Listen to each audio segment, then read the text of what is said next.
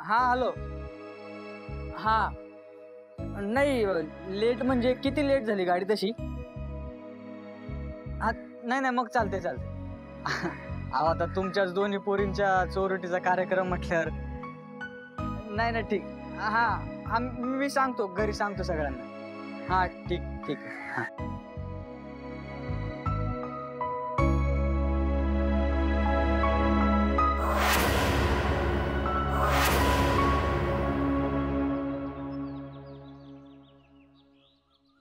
हो मास्तर.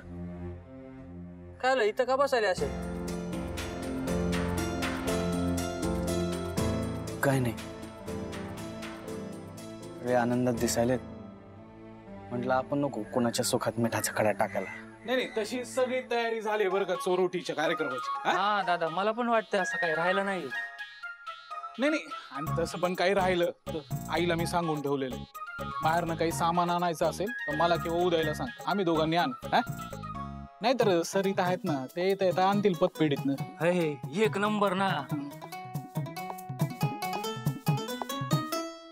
नाही कसं आहे आता घरात एवढा चांगला कार्यक्रम आहे म्हणजे आपण सगळ्यांनी असं एकदम उत्साही राहिलं पाहिजे नाही का? हे दादा तू नेहमीच असं परफेक्ट बोलतो रे. ऐका तुम्ही दोघांनी एवढी गोड बातमी दिल्यानंतर आनंदच होणार ना मला. नाही का रे रवी? याच्याकडे बघ ना कसा तोंड पाडून बसायला ते काय रे रवी? काय झालं? काय तर म्हणे मी नको कोणाच्या आनंद मिठाचा खडा व्हायला. का रे? तू का असा स्वतःला मिठाचा कडा समजायलायस? अय मास्तर. तू ना साखरेचा खडा आहे. हा. ए साखरेचा नाही. गुळाचा खडा आहे तो गुळाचा. ए मास्तर तू नको ना असा सॅड हो हा. हे बघ असं ना चांगलं नसतं तब्येतीला निराश राहणं. हा त्याचा मनावर निगेटिव्ह परिणाम होतो. हा, आणि असं घरात चांगला कार्यक्रम असला ना की असं उदास वाटतं मग. बरोबर आहे. त्यामुळे ना तू जास्त विचार नको करूस बरं का? हा? आणि असा उत्साही राहा. आणि मास्तर हे सगळं जे काय आहे ना काढू ना आपण शोधून. अरे आपण आहे ना तुला काढतो ना बाहेर यातून हा? बरोबर बोला. ए त्याला उचला. चला, नाही, नाही.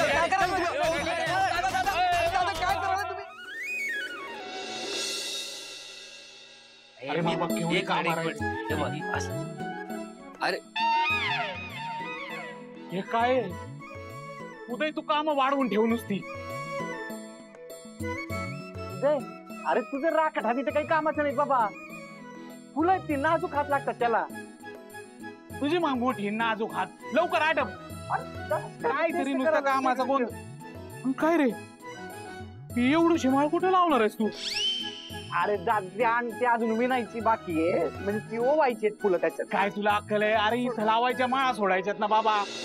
हो. पूर्ण काय एकदम मस्त दिसायली ना? म्हणजे चारही वहिनी एकदम छान तयार झाल्यात ना?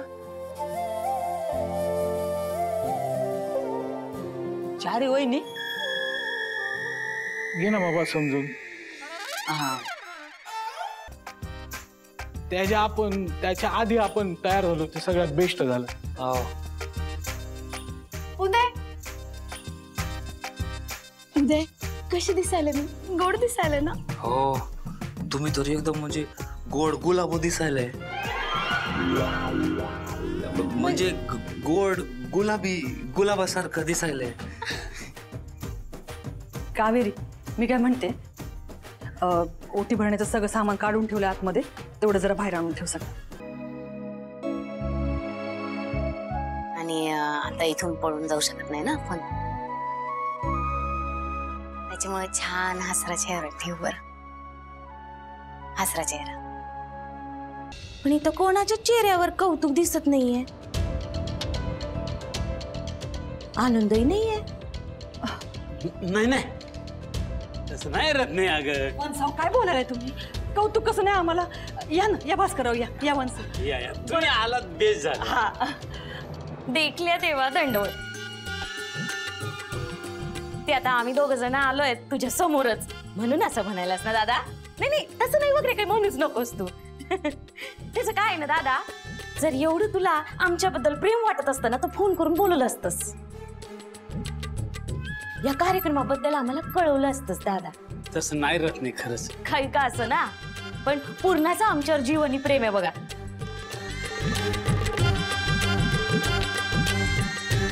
तिनं मात्र या कार्यक्रमाचं आमंत्रण दिलं आम्हा दोघांना आणि बोलवून घेतलं.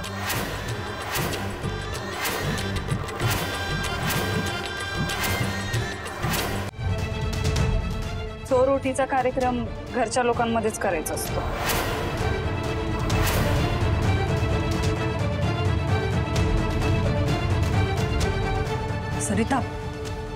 आत्ता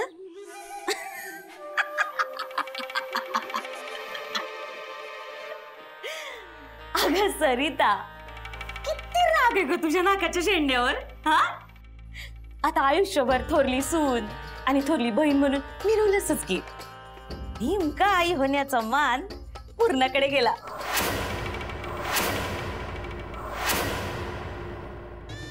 ग तुझी रत्ने। सरिता।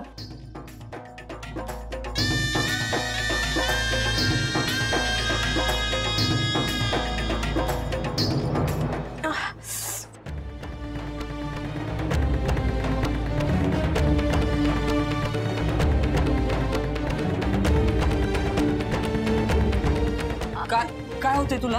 बरं नाही वाटत का? आपण आपण हॉस्पिटलला जाऊ. चल. अरे बापरे काय झालंय? अगं, काय होतंय काय तुला? अगं आई तिला बरं वाटत नाहीये.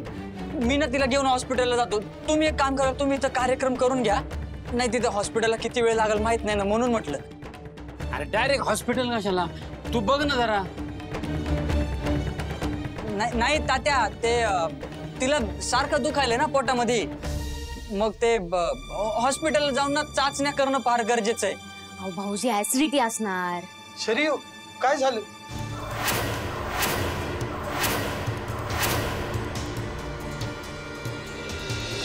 अरे. रंगनाथराव सुशीलाबाई. या या या या या या.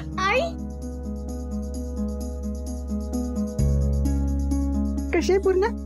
बरी आहे. बाबा. आयुष्यमान भव आल्हादराव अहो दोन्ही पोरींनी एवढी आनंदाची बातमी दिली का मिळेल त्या वाहनाने इथं आलो आम्ही. सुशीला ताई एकाच वेळेला दोन दोन नातवंडांच्या आजी होणार तुम्ही आता. हो ना. सगळी देवाची कृपा. किती खुशी झाली आम्हाला सांगताच येत नाही.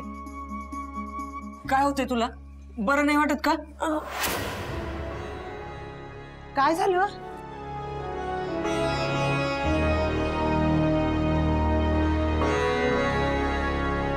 अगं शरयू हे असं होतच असतं. त्यात काही नाही एवढं.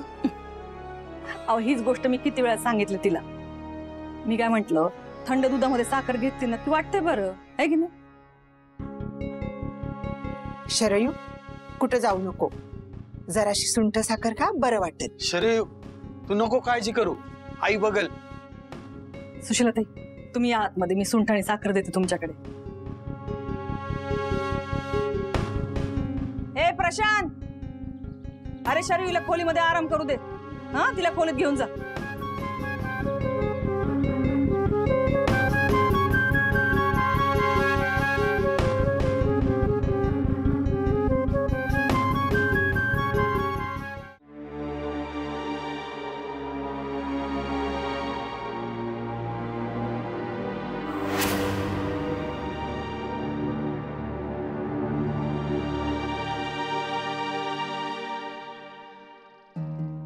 बघ शरयू बोल ना काय बोलायचंय आता? अगं प्रत्येक वेळी काय ना काहीतरी गोंधळ होतच असतो. एक प्लॅन सक्सेसफुल होत नाही आपला.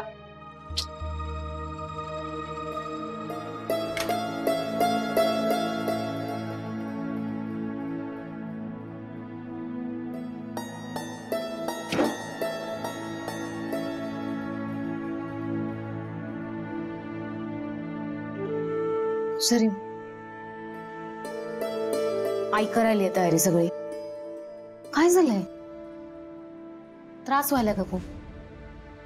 काही बोलू नको. मला मला तुला त्रास व्हायलाय पण सर्व, आपण एवढं चांगलं नाटक उभं केलंय. एवढं चांगलं नाटक उभं केलंय. नको घेऊ टेन्शन तू टेन्शन घेतलं नाही अजून काहीतरी वेगळी भानगड उभी राहणार. हे बघ सर आजचा दिवस जाऊ दे. हा?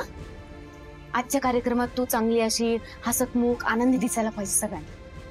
एवढंच कर. हं? मर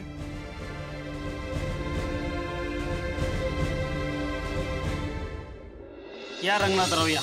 जरा बाहेर फिरफटका मारू. घरात बसून बसून हे कंटाळा येतो हे बघा ह्या बाजूला का नाही मी हा? तुम्ही मागच्या वेळेला आला तेव्हा असे आता ह्या वेळेला मी मिरच्या आणि काही झेंडूची फुलं बिलं लावलीत वांगी पण लावलीत. वा. तिकडं मागच्या बाजूला मी अं, लिंबाचं झाड लावले. घरी काही कार्यक्रम असला का लिंब बिंब सगळं टाकलं. घरच्या घरी जवळ पडतं लांब छातात जायची गरज नाही ना. हा. तर मी तुम्हाला खरं तर इथं बोलावलं त्याचं एक खास कारण आहे. म्हणजे आता मी तुम्हाला जे सांगणार आहे ना ते कोणाला सांगू नका. नाही कोणालाच नाही सांगणार. तुमच्या दोन दोन मुली आई होणार. हा. म्हणजे तुम्ही डबल आजोबा होणार डबल आहे का नाही? मग त्याचं सेलिब्रेशन तर झालं पाहिजे. अहो म्हणजे काय? सेलिब्रेशन तर व्हायलाच पाहिजे. व्हायला पाहिजे का नाही? तर आपण सेलिब्रेशन करू म्हणजे कसं करू आपण? अं, गावातल्या तुमच्या आणि माझ्या ओळखीच्या काही एक सात आठ मुख्य माणसांना बोलू ज्यांना बुवा कार्यक्रम करायला आवडतो. आणि कार्यक्रम करू आपण म्हणजे सेलिब्रेशन म्हणजे मग संत्रा मोसंबी आणू. फक्त संत्र मोसंबी? अहो चांगलं पुरणपोळीचं जेवण घालू की. नाही नाही. मी काय म्हणतो त्यापेक्षा ना साखर भात पुरी आणि बटाट्याचा रस्सा. एकदम जंगी बेत करू. बटाट्याचा रस्सा? ते मी करतो. काय करायचंय ते? तुम्ही नका त्यात पडू. फक्त तुम्ही माझ्या बरोबर राहा. हा? म्हणजे काय? शंभर टक्के मी तुमच्या बरोबरच आहे. काय झालं? कोण- कोण कोणाच्या बाजूने? बघा राव अहो मी आणि आल्हादराव मिळून आमच्या काही मित्रांना बोलवणार आहोत आणि जंगी सेलिब्रेशन करणार आहोत. सेलिब्रेशन हा, कोणाची कल्पना आहे हो बाबा? आल्हादरावाची. नाही नाही म्हणजे तशी आता मला पण पटली. म्हटलं आणि नको नको. बाबा नको आता. ते काही नको सेलिब्रेशन वगैरे. ए तू आमच्या सेलिब्रेशनच्या आड येऊ नका. हे बघा तात्या. तुमचं ते सेलिब्रेशन वगैरे आहे ना ते आईला आवडणार नाही.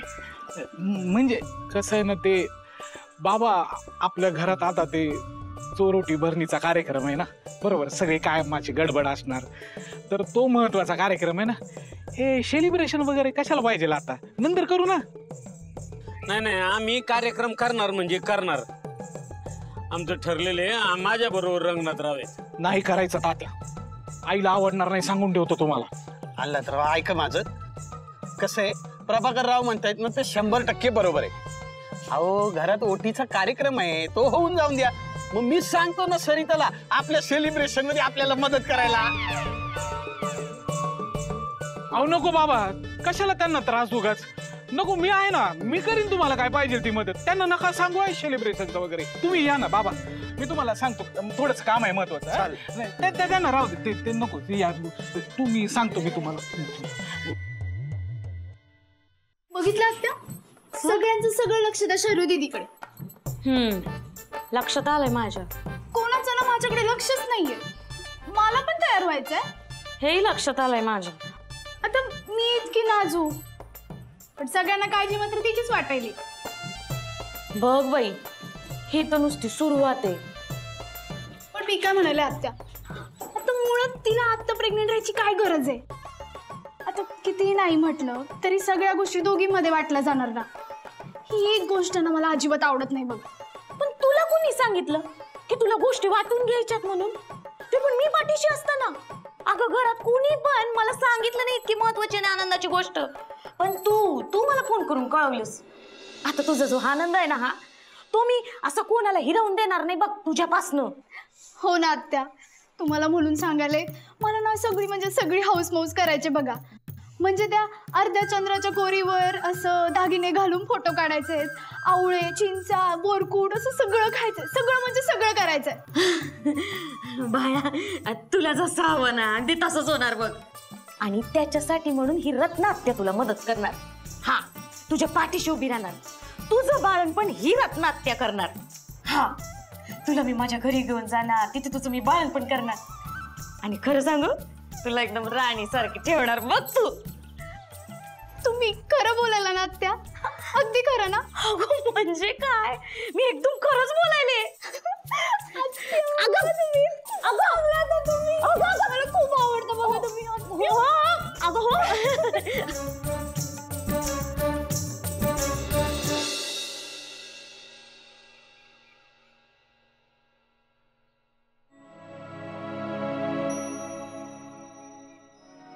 त्रास व्हायला मगाशी पण असाच त्रास होत होता.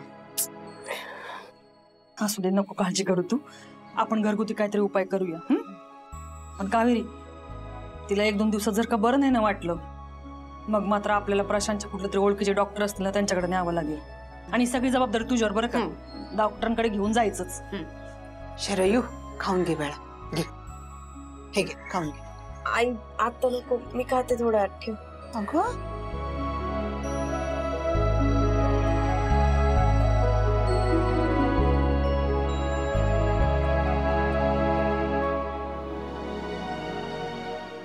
काय काय झालं?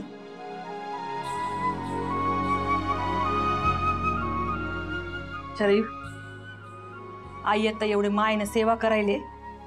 बरं वाटायला ना थोडं तरी. बरं तुमचं चालू द्या. आम्ही जरा बाहेरचं पण बघतो. कावेरी ये माझ्या मदतीला हा.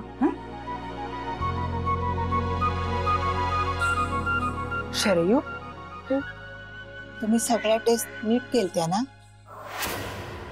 काहीतरी गडबड वाटते गडबड म्हणजे? तुझा काहीतरी गैरसमज झालाय.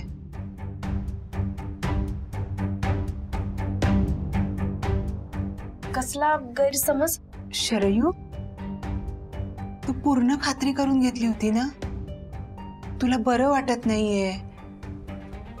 पोटात दुखते म्हणजे तू गरोदर नाहीये. तुला कळतंय ना मी काय बोलायले ते? तुझा आणि प्रशांत रावांचा गैरसमज झालाय. आता बाहेर कार्यक्रम सुरू होणार. सगळ्यांना सांगायला पाहिजे. हे बरोबर नाही. शरयू, बाळा मला माहितीये. तू गरोदर नाही, हे तुला कळल्यावर वाईट वाटलं असेल. तू सगळ्यांना कौतुकाने सांगितलं. पण बातमी तशी नाहीये. असं होतं कधी कधी तू ताण घेऊ नकोस. मी बोलते सगळ्यांची. आई.